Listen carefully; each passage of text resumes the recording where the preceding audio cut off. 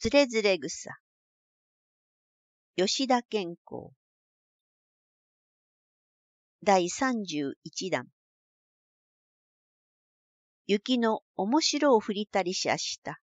人の狩り言うべきことありって文をやるとて、雪のこと何とも言わざりし帰りことに。この雪いかが見る？と、一筆のたわませぬほどの日が東からん人の仰せらるること。聞き入るべきかは。返す返す、口をしき、見心なり。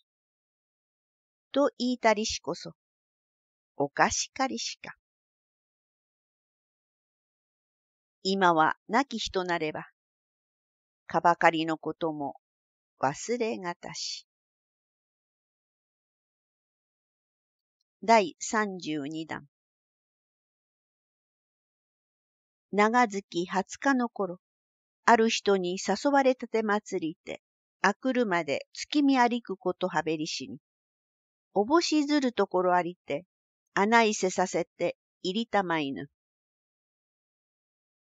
荒れたる庭のつゆ刺激に、わざとならぬ匂い、しめやかに打ち香りて、忍びたる気配、意図物哀れなり。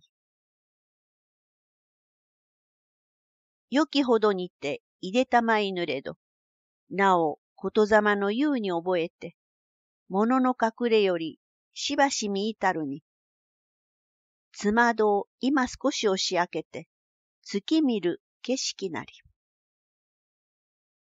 やがて駆けこもらましかば、口押しからまし。後まで見る人ありとは、いかでか知らん。かようのことは、ただ朝夕の心遣いによるべし。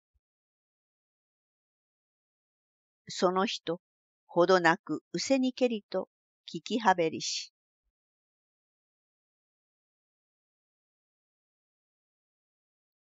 第三十五弾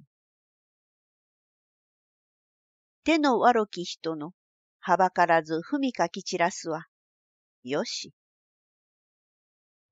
見苦しとて人にかかするは、うるさし。第三十六弾久しく訪れぬ頃、いかばかり恨むらん。と、我が怠り思い知られて、ことの葉なき心地するに、女の方より、次長やある？一人など言い起こせたるこそ、ありがたく、嬉しけれ。